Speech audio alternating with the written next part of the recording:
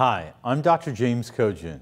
In this video, we're going to learn how to lower your hunger and how to reduce your cravings, especially your carb cravings.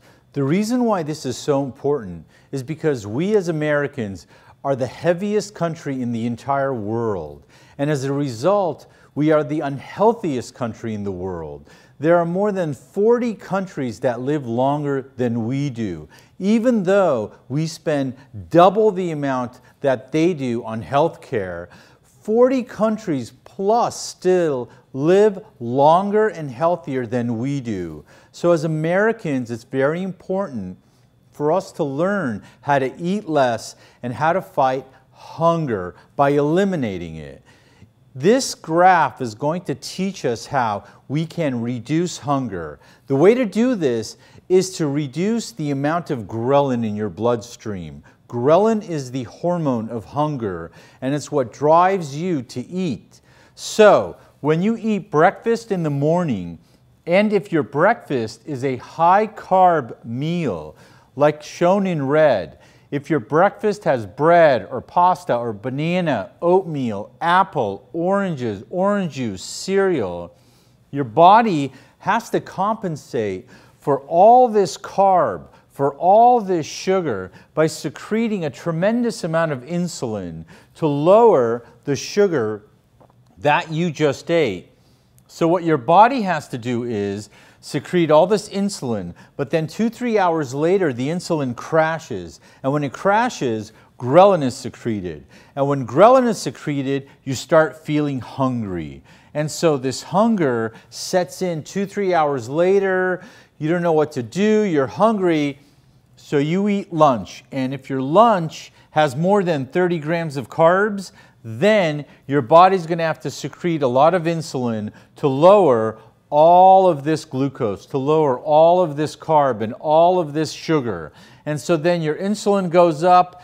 In the afternoon, it crashes, ghrelin shows up, you're hungry, and the same pattern repeats itself day after day, week after week, month after month. And you don't understand why at the end of the year, why you're gaining weight, why it's so hard for you to lose weight.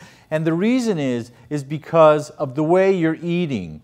What you need to do is keep your insulin level flat, keep your insulin level stable. You do that by eating three types of foods protein, vegetables, and berries for fruit. It's a substitution plan.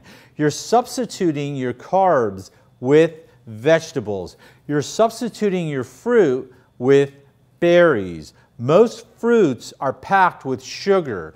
Most fruits are packed in carbs. And then when the carbs show up, hunger is going to show up. So berries don't have all that carb. Berries don't have all that sugar. So the foods in green keep your insulin level flat. These foods are all the protein foods, vegetables, eggs protein, cottage cheese protein, the Power Crunch bar. This is a great bar. This bar is high in protein, low in carb, low in sugar. This bar keeps your insulin level flat. Tuna, fish, berries. When you eat these type of foods, protein, vegetable, berries, you can make a thousand types of foods with these three types of foods. Then your insulin level stays flat. Hunger doesn't show up because ghrelin doesn't show up. You eat less you lose weight, you have more energy, you have less hunger, you even age slower and you have less inflammation because your insulin level isn't high. Your insulin level is low. High insulin levels create aging. High insulin levels create inflammation. High insulin levels damage cells.